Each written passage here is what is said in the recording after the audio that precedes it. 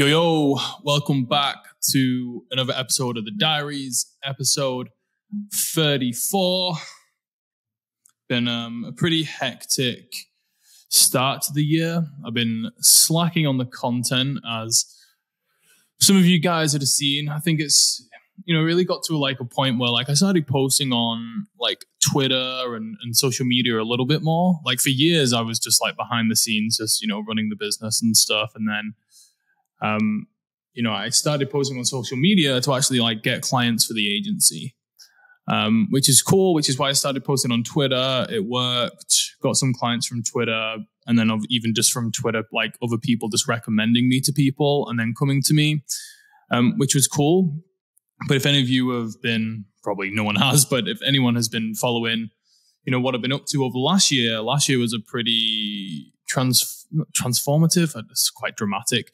Um, a significant year of change in terms of like what I'm working on.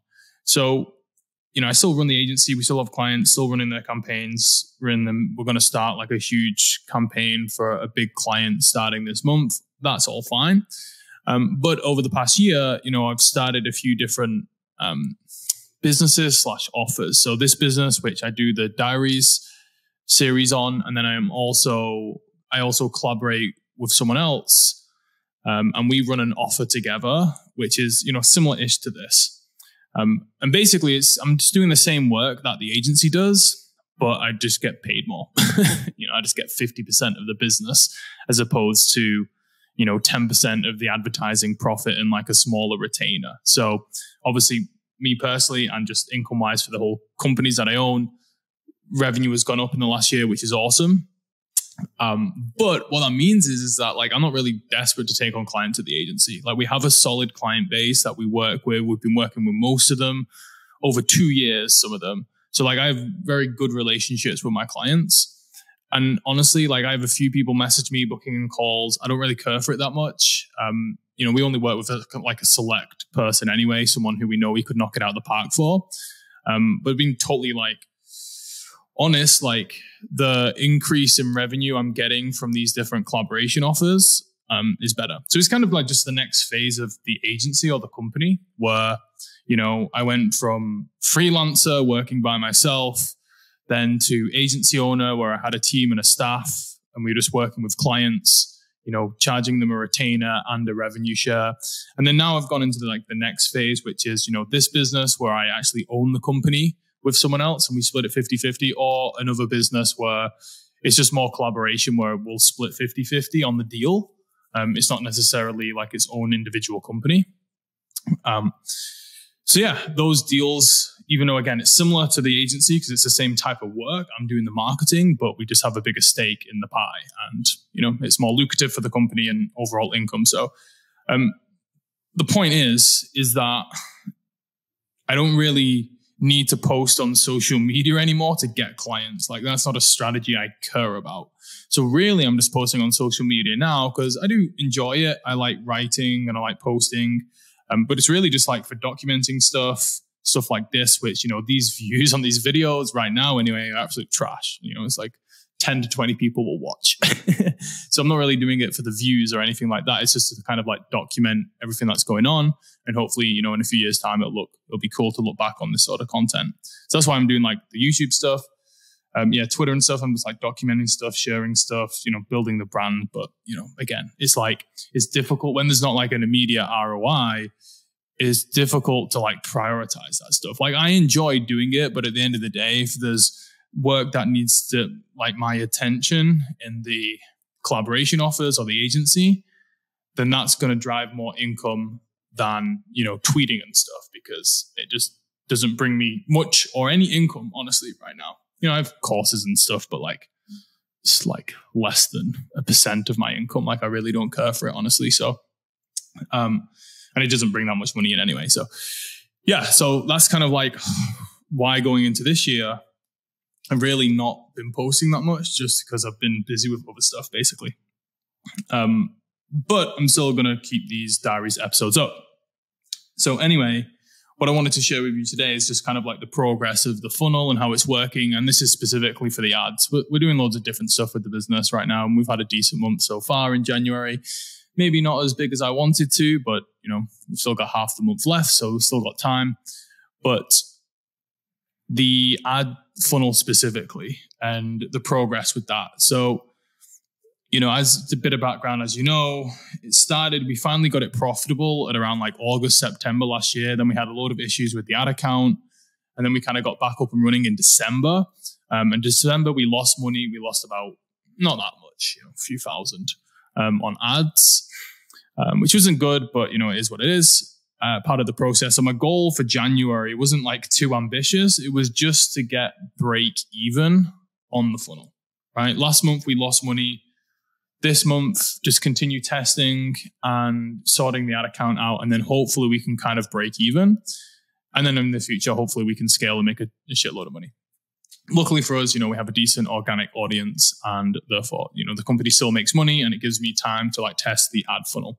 But I just wanted to share the numbers with you. So what we've done so far. So January is pretty good.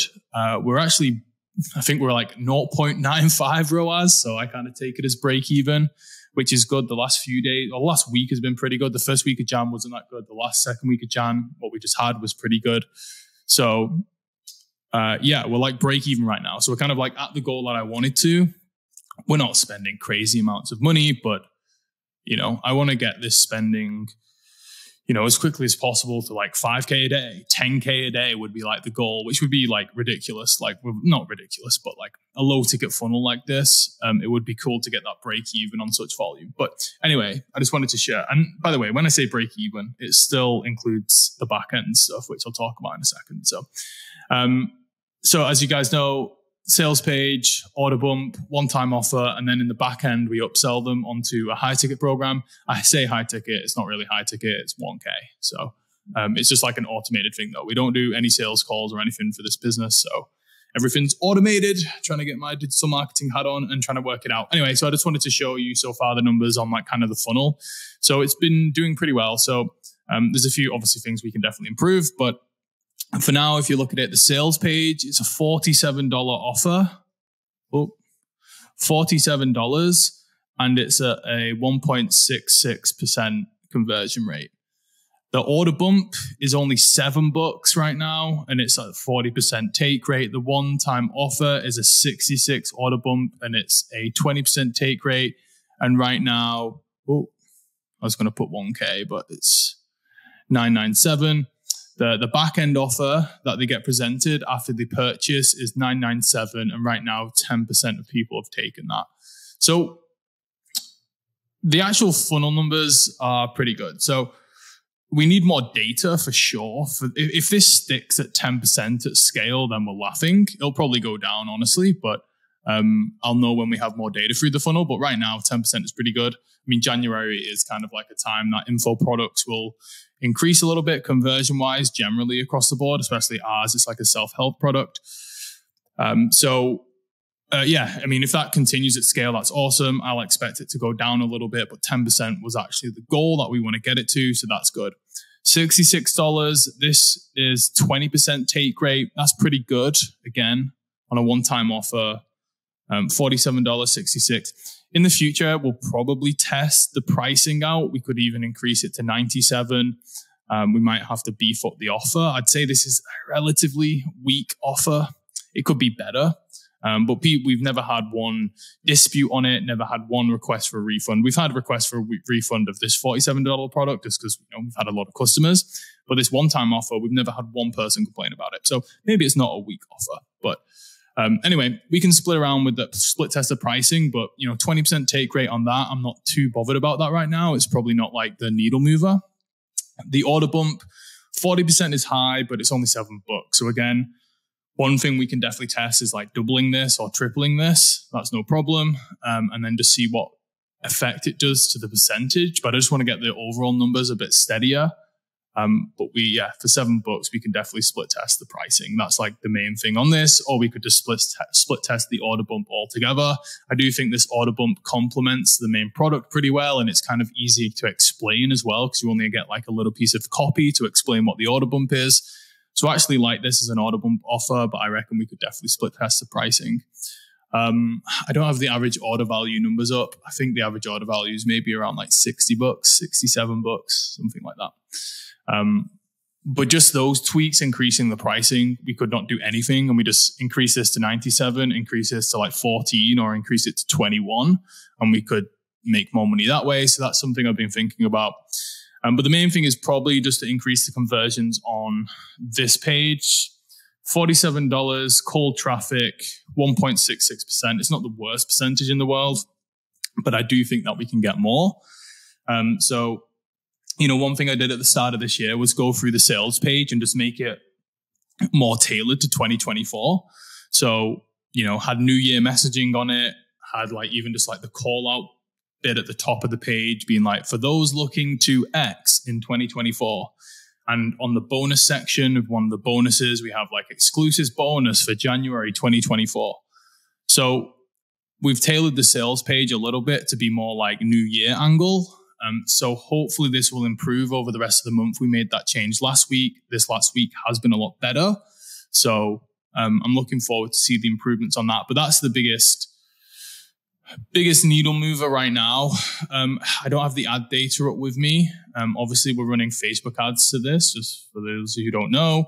I don't know what the average cost per click is, but I think we can definitely increase, decrease the cost per click. So the biggest needle movers right now, I think, for this funnel is number one, I need to improve the conversions on the sales page. Number two, could probably get cheaper clicks from Facebook, so improve the ad performance. And then the third thing on my to-do list will be to increase the average order value in the back end, um, which is going to be focusing on basically increasing the price on these two products. This conversion here, again, we need more data really to see how this works, but we are the VSL that sells this. We're testing a new version out of that. So that's getting filmed and edited as we speak. So hopefully that should be ready next week to um, to launch as well. And maybe we can even improve this 10%. So yeah, that's the number so far. It's decent. Again, limited data. We're not spending a million dollars a day. We're not even spending five grand a day. We're not spending two grand a day right now. I just want to get up to like, if we can break even spending a grand a day, um, I'd be pretty happy with that.